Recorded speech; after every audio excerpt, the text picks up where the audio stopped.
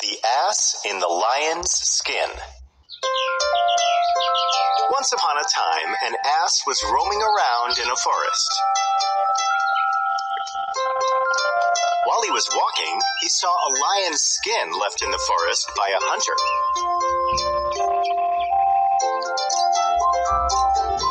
The ass was intrigued, and he dressed himself in it.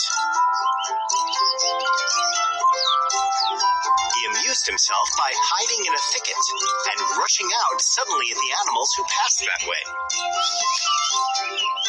All the animals took to their heels the moment they saw him. He did the same again and again and again.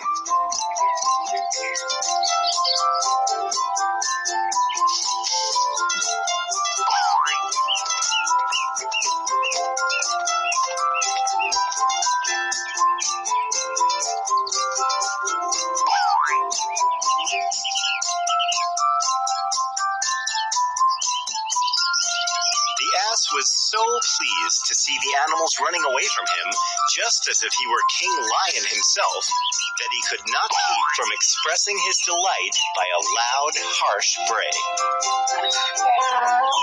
The fox, who ran with the rest, stopped short as soon as he heard the voice. Approaching the ass, he said with a laugh, If you had kept your mouth shut, you might have frightened me too. But you gave yourself away with that silly bray. Fine clothes may disguise, but silly words will disclose a fool. The fox then informed all the animals, who promptly came to beat the donkey out of his senses.